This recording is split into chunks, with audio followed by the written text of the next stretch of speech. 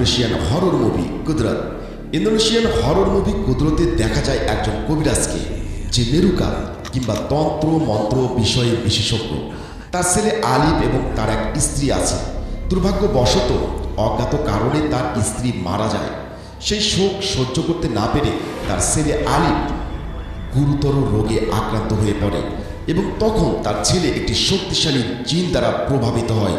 কুদরত যখন আলিফের শরীর থেকে জিন সরাতে যায়, দুর্ভাগ্যবশত সেই জিনের শক্তি বেশি থাকায় আলিফের এক ভয়াবহ মৃত্যু ঘটে। আলিফের মৃত্যুর কারণে কুদরতকে দোষী করে জেলে পাঠানো হয়, কিন্তু কুদরত তার পরিবারের সকল সদস্যকে হারানোর পর আল্লাহর উপর আশা হারিয়ে ফেলে।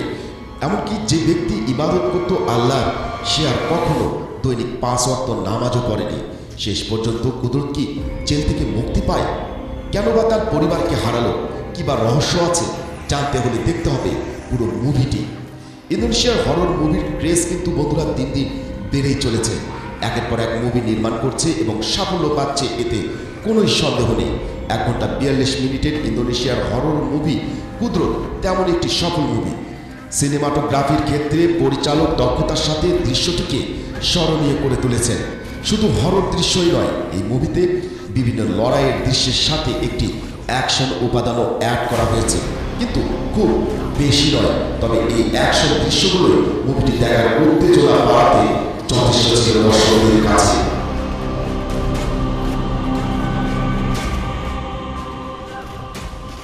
তো বন্ধুরা, কেমন লাগল মুভি রিভিউগুলো অবশ্যই কমেন্টস করে জানাবেন। কোন মুভির রিভিউ আপনারা দেখতে চান, সেটিও অবশ্যই জানাবেন। ভালো লাগলে লাইক দিবেন এবং চ্যানেলটি সাবস্ক্রাইব করবেন পরবর্তী ভিডিও দেখার আমন্ত্রণ জানিয়ে বিদায় নিচ্ছেন হাসান সফল ধন্যবাদ।